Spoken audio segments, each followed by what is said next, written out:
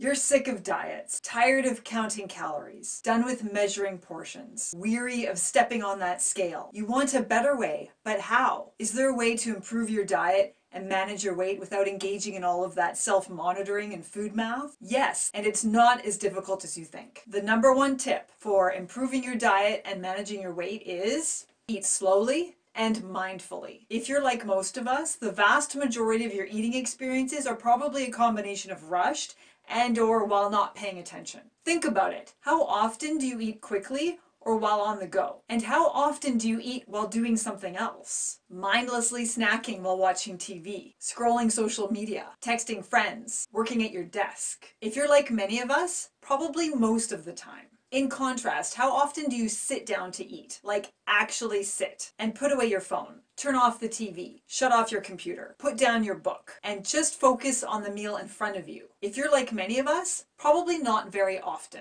So what happens when we eat too quickly? We experience poor digestion, so poor absorption of nutrients, GI issues, decreased satisfaction with meals, that overly full feeling, and possible weight gain. When we eat slowly and pay attention to our meals, we actually eat less. When we eat quickly, it is all too easy to ignore the signals from our body that tell us we are full. Think of that comfortable level of fullness as a finish line. If you run up to that finish line at full speed, it's going to be difficult to stop on the line in time. Most likely you won't be able to stop until you're past it. In contrast, if you walk up to that finish line at a slower pace, you will have no problem stopping when you reach that line. So if you eat slowly and mindfully, you'll be far more successful at ending the meal when you are feeling comfortably full and satisfied, rather than when you're feeling overly full and gross and filled with regret. So what happens when we slow down? we experience increased satisfaction with meals, more effortless weight maintenance or loss, increased sense of control over our eating, and better digestion.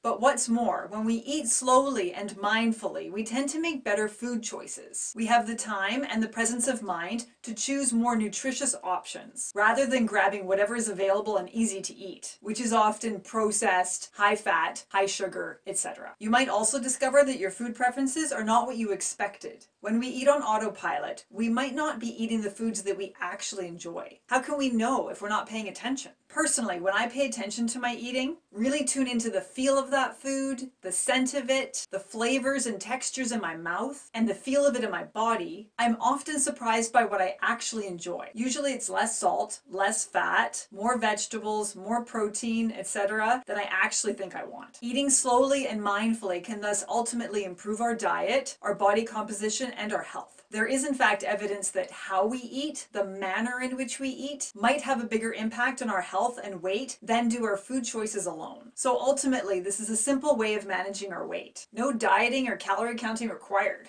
bonus. Simply slow down and pay attention. Note, if you're trying to gain weight rather than lose or maintain, eating quickly can help you with this. So to wrap up, here are some tips for eating slowly and mindfully. Put down or away distracting devices. Do something in between bites. Put down your utensils, take a sip of water. Chew slowly. Look at your food, savor it. Note flavors and textures. Keep a food journal. This way you can notice patterns in your eating. Use a meal timer so that you can set a minimum amount of of time for finishing a meal. Pace yourself with the slowest eater at the table and make note of what affects your eating speed, whether it's stress or certain conversation topics play food detective here. So that's it. Thanks for watching. I'm going to go and do some mindful eating now with no distractions. So don't forget to hit that subscribe button. And if you like this video, hit that like button right now. I really appreciate it.